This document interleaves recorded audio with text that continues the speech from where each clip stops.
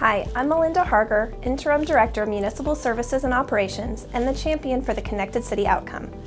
This outcome focuses on having well-maintained, functional, and efficient infrastructure, facilities, and other assets in our city. We want to ensure we are providing accessible and sustainable methods for safely moving people and information throughout the community and the region. Investment in this area reflects our commitment to the well-being of all people in our community. When we talk about city assets, we are referring to anything the city owns and operates. For Lawrence, that adds up to more than $2.5 billion of assets, including buildings like City Hall and our water treatment plants, vehicles including solid waste trucks, buses, and police cars, recreation areas like the Lawrence Loop and our local parks, underground infrastructure like water distribution and stormwater collection, and other city facilities including our roads, cemeteries, and parking garages in downtown Lawrence.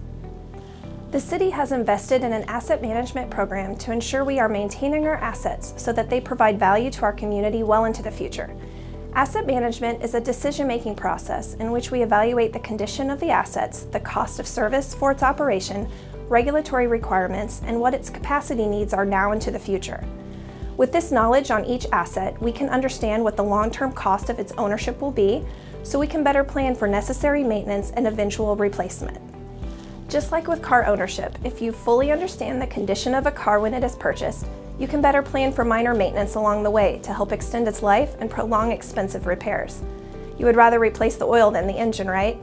But if you need to replace the engine, it is best to know about it ahead of time, rather than in a crisis situation. That same concept applies to our city assets. We want to know what condition they are in, when they will wear out based on how we want them to perform, how we manage the associated risk, how much it will cost to repair or replace, and how we will pay for it. Through our work in Connected City, we have identified the service level our residents expect in a variety of areas, including water, wastewater, transit, and more. Our asset management program helps us achieve the desired level of services by identifying needed resources so we can more precisely plan for budget recommendations. Here are a few examples of how we are incorporating asset management into our operations.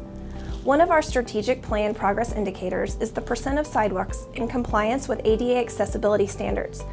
We have now inventoried all sidewalks in Lawrence with the use of LiDAR mapping technology. From this sidewalk inventory, we are working on developing timelines and cost estimates to make progress on this goal. Another of our progress indicators is the cost per lane mile of city streets. With asset management, we are analyzing our streets to determine the right balance of funding that is needed to get to and maintain the quality of streets that our residents want. And my last example is related to some of our most expensive assets, our water and wastewater treatment systems. Asset management helps us determine how to optimally run the plants to not only maintain compliance with regulations, but also better plan future plant upgrades.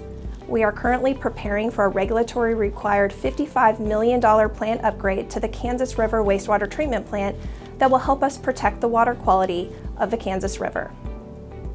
As you can see, our work in Connected City is a continuous cycle to get the best use out of city assets. Asset management is the key driver to make this happen, and we look forward to expanding its use to accomplish additional strategic plan goals.